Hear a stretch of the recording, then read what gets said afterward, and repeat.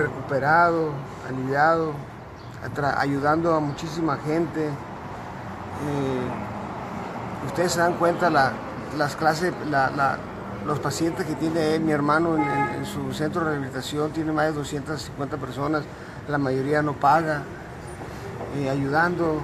A eso me dedico también yo, a tratar de ayudar, de, salvar las vidas que más se pueda.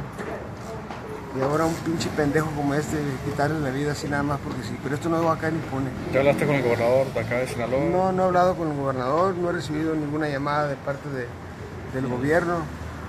Se han hecho pendejos también, yo creo. No, sé qué es lo que está pasando. Pero pues yo tengo que actuar por mi propio voluntad. ¿Van a poner denuncia ustedes, Julio? La denuncia ya están, capi. ¿Ya está? La denuncia ya están. Ayer se hizo toda la averiguación y todo. Y, y se han hecho pendejos, ¿me entiendes? Entonces pues yo voy a tener que actuar por mi propia, ¿De qué, ¿De qué, manera, Julio, actuar? ¿Seguridad, tu seguridad? Sí, claro, mi seguridad y todo eso, ¿me entiendes? Y, vamos a tratar de que esto se aclarezca. Yo les prometo que esto no va a caer impune. Gracias, Julio. Además, no lo juro, chingo, mi madre.